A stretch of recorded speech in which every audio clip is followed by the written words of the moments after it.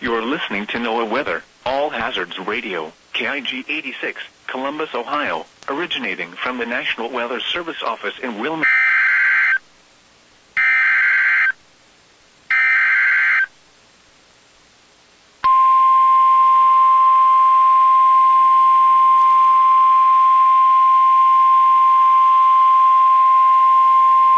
The National Weather Service in Charleston, West Virginia has issued a flash flood warning for Perry County until 8:30 p.m.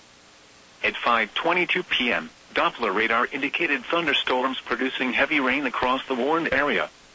Up to one and a half inches of rain has already fallen. Flash flooding is expected to begin shortly. Some locations that will experience flooding include New Lexington, Somerset, Shawnee, Perry State Forest, Crooksville, Junction City, Corning, Hemlock, and Rendville. Turn around, don't drown when encountering flooded roads. Most flood deaths occur in vehicles.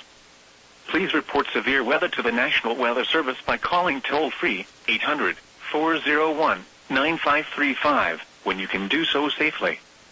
You may also report severe weather by posting your report to the Charleston, West Virginia National Weather Service Facebook page or by using the Twitter hashtag NWSRLX.